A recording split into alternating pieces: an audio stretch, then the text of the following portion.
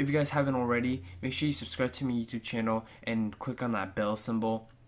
That'll give you notifications of when I post my videos so you guys can like it, share it, love it, like it, and all the good stuff.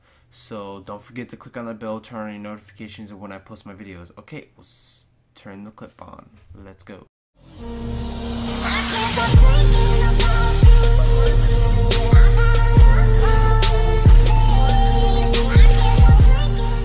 What is up you guys, so it's Awesome A and I'm here to bring you a new YouTube video on my channel. And in this video I'm trying to be going for a the deatomizer. And if you guys don't know what that is it's basically like a nuclear attachment you can get on your gun that you unlock with a certain um, uh, version of the gun so I hope you guys are having a fantastic Christmas Eve or Christmas whenever this video goes up I hope you guys are having a good day basically all you beautiful loving sloths I hope you guys are having a good day life is too short to waste so speaking of life is too short to waste, since I just said that, uh, this commentary is going to be basically about the time I almost uh, got shot or almost got jumped, basically. So it was a couple months back.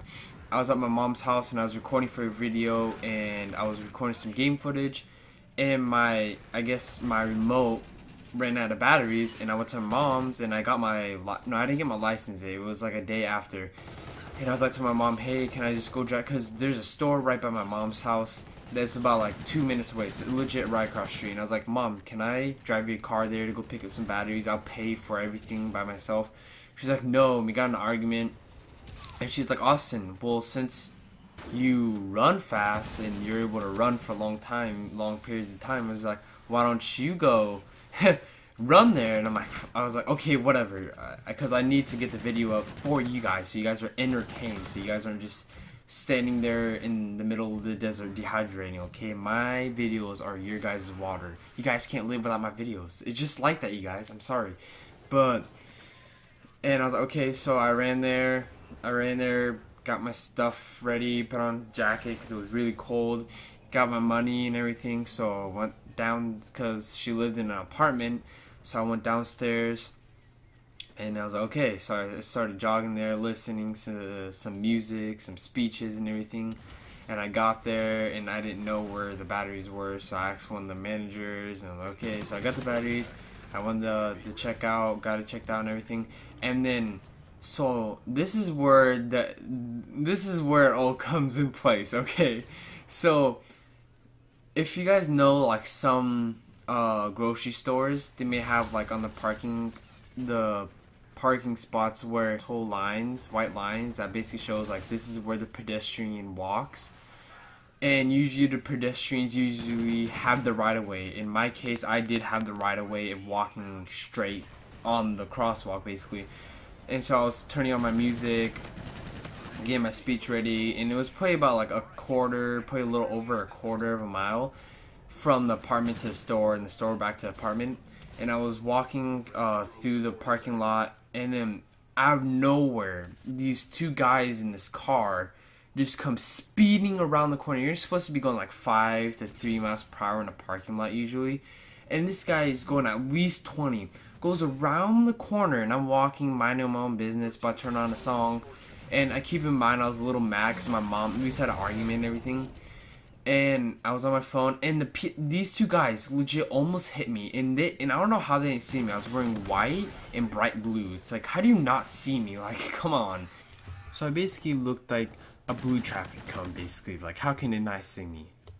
And so they come right around the corner, and they almost hit me, and they stopped. Luckily, about eight to five feet, and I just stand there and I stare at them for like three to five seconds, and I start walking away. And so these two guys pulled up right behind me and then uh, the driver seemed from what the driver did he seemed like responsible and everything but the passenger on the other hand he was like don't act like you're not gonna do anything.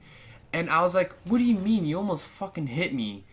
Sorry for my cussing but he i was like you almost hit me come on dude and then the driver's like sorry we didn't see you and i'm like next time can you slow down and he was like yeah uh, i was like yeah i'm sorry and then the passenger comes again, tries to act a little tough because him and his two gay friend, him and his boyfriend are in their like $100 car. He was like, you ain't gonna do anything.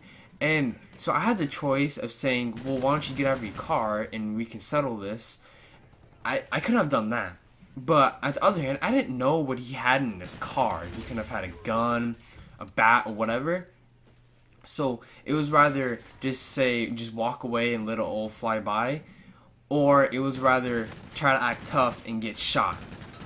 I pulled the safe way because I didn't want to get shot. Two full grown men, and I'm not saying that I want to back down at that point. If if if someone ought to try to jump me, I'd kick their fucking ass, no matter how big they are, no matter how tough they are. I will fight no matter what, dude. Like I'll take every single punch because I'm not kind of a person to never back back down. And so, um, and so that was that. And so the guy just left, and I was like, did that really just happen? Like, th- did I almost get shot or jumped by two full-grown men, two gay men? And it was like, oh my god, oh my. It was so like it was so weird. Like the the driver seemed pretty cool and chill, but the other dude just seemed like he had a dildo up his ass or something. He was just acting all butthurt, and I'm like, bro, you, first of all, you're gonna get pleasure from saying all this to a 16 year old. You're trying to act all tough to a 16 year old. Like, bro, be the adult in this situation and act like a damn man that you're supposed to be like. And it's like so disappointing. Like people nowadays, they're they're like that. It's like you take pleasure from kind of kicking around a little kid. I'm not like some adults. I guess I'm little because of the age wise, but it's like, bro, if you had to come at me, bro, I'd kick your butt. I will kick your butt, dude. Don't even test me. And I couldn't have gone hit, jumped, shot, even at the worst died. Okay. And keep this in mind, you guys. Oh for batteries. It was all for batteries. All I needed was two AA batteries. I was like, what the hell? And my mom wouldn't even let me drive. If I would have been able to drive, none of that would have happened. It's like, come on. And I told my mom that. She didn't even care. Like, it was like nothing. I'm like, I almost died. So that was the video. That That's really been it. Me almost being shot. So hope you guys enjoyed this. Please have a happy Christmas. And that's been it, guys. Awesome Ace signing off. Peace.